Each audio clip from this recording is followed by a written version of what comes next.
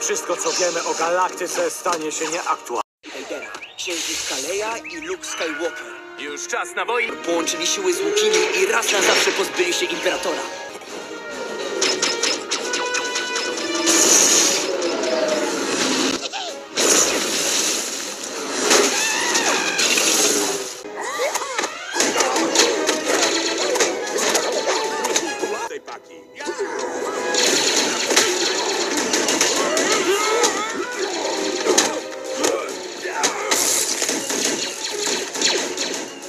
We shall looking at?